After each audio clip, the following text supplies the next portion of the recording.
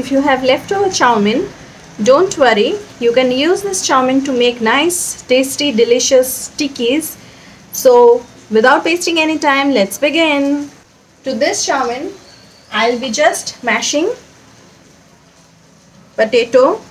See the quantity of chow mein that is left with you and accordingly decide the number of potatoes. For this I'll be using two big potatoes. You can use a masher to mash it. Otherwise you can wash your hands nicely. I'll just mix it up. Then if required we'll add some more seasonings. Um, chow mein contains all the seasonings but since we added potatoes into it so it will require some more salt and some more spiciness so I'll just mash and mix it up and then I'll add the seasonings as required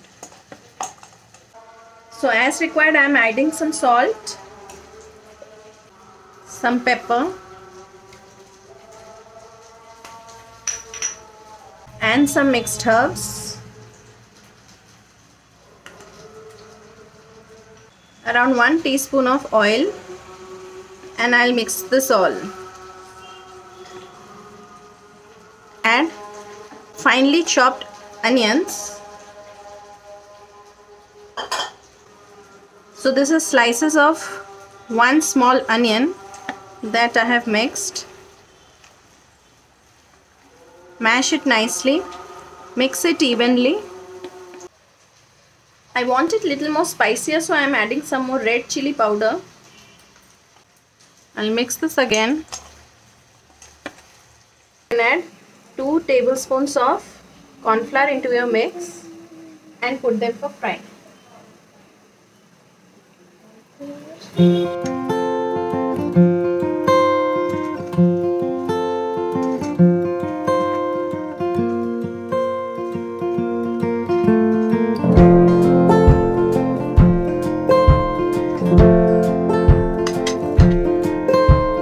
are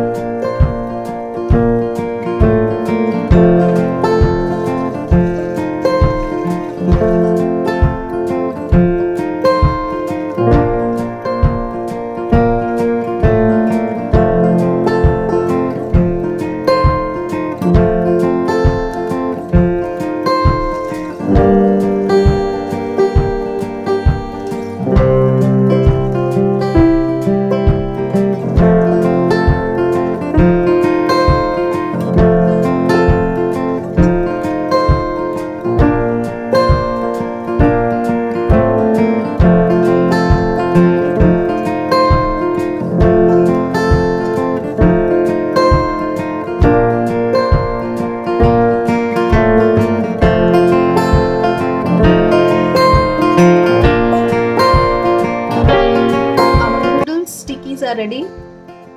We'll relish this with tomato ketchup.